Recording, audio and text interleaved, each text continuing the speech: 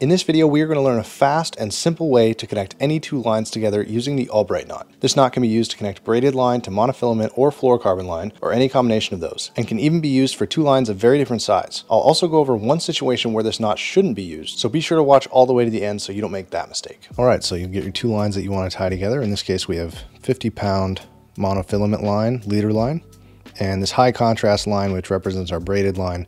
I'll tie it again in a minute with regular strength braid so you can see what that looks like. So you take your leader line, give yourselves about four or five inches, and then fold it over on itself. And I like to kind of pinch where it's folded over so that it has some memory. It's a little bit easier to work with.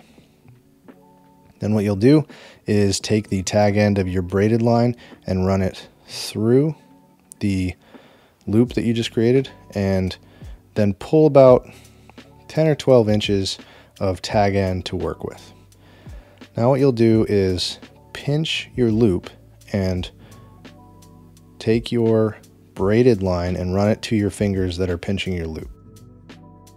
Now you have all this set, you're ready to go ahead and bring everything in line and make your wraps. So you'll take your main line, kind of just make sure that it's in line with your loop. And then what you'll do is take your tag end start creating wraps over all three of these lines together, like so. And as you make these wraps, they're all going to be running in the same direction. So in this case, they're running to the right. And as I make those wraps, if I want to adjust my fingers, kind of grab the wraps as I go so that the loop doesn't move on me, that works well. But you can see what works for you as you tie the knot. So the number of wraps that you want to make is going to depend on the size of your line and a little bit on personal preference. Some people say 7 to 8, some people say up to 20. I like somewhere in the realm of 10 to 12, but I would encourage you to kind of play around and see what works for you with your strength of line.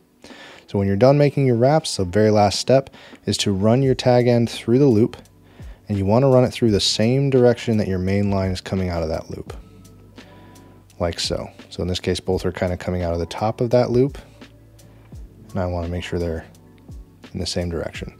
Now I'll take those two lines and I can pinch the two leader lines and pull the slack out of the knot. Then before I pull it tight, I want to wet the line.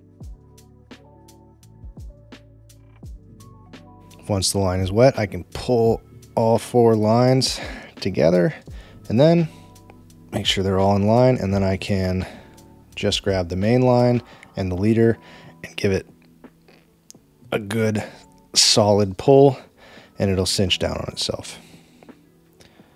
And that's the knot. The very last step is to take your clippers, trim your tag ends, and in this case you can trim very close to the leader line, which is one of the strengths of this knot, that you don't have heavy leader line hanging out to snag on your eyelets. All right, so once more, this time we have our 30 pound braided line and we still have our 50 pound leader line.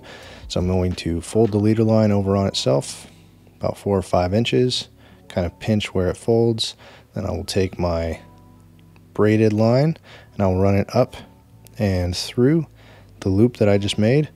I'll pinch the loop and after I have about 10 or 12 inches or so of working braided tag end, I will pinch that as well right here. Then I will ensure first that my braided main line is in line with the loop. Then you can take your tag end and begin creating wraps around all three of those lines together, like so. And I almost just wrapped one of the wraps over on itself, and that's something you don't want to do. You want to make sure each wrap is on the right side or if you're doing this the opposite way on the left side of the of the wrap before it um, so it doesn't bind. And again, you can take your fingers, kind of reposition them to make sure that everything stays pinched and is easy to work with as you're making your wraps. You'll feel it as you go.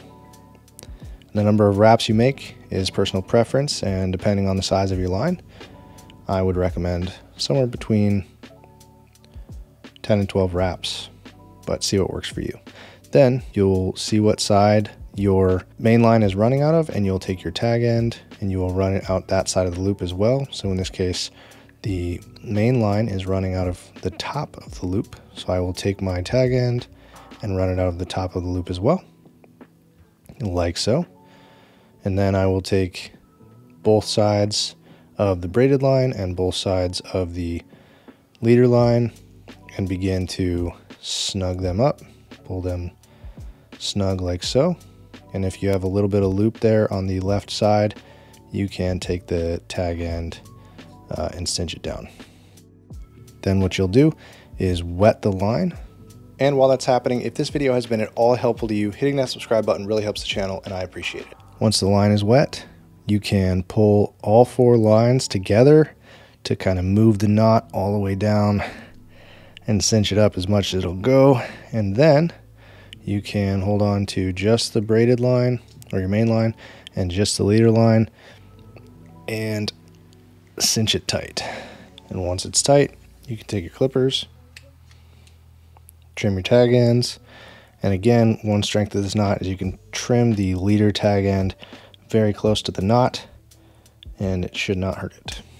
Now, here's a situation where you do not want to use this knot. If, for whatever reason, you need to connect braid to braid, this knot should be avoided. For example, if I need to add line to my spool, this knot might cause some problems because braid is very thin and doesn't have much memory, which makes wrapping around it quite difficult. To remedy this and learn the simplest way to tie braid to braid, click on this video here, and thanks a lot for watching.